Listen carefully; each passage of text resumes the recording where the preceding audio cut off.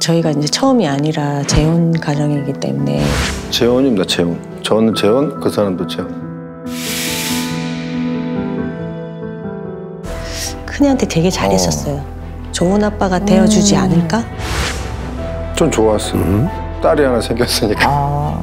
데리고 재혼을 한 거고 임신해서 아기를 낳은 거죠. 내 식구예요.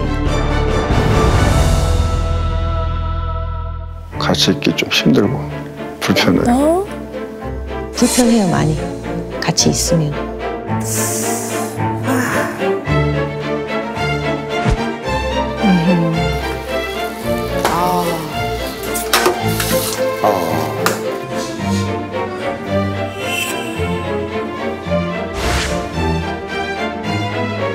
미안함도 없고 엄청 이기적이고 책임감도 없어.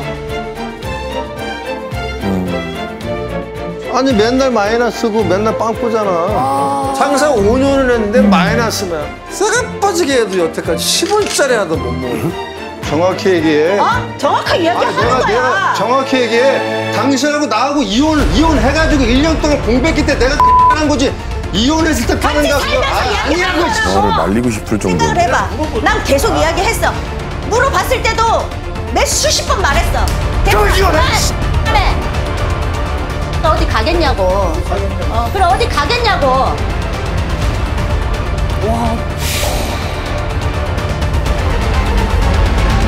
두분다 엄청 세게 싸우, 싸우시는데요?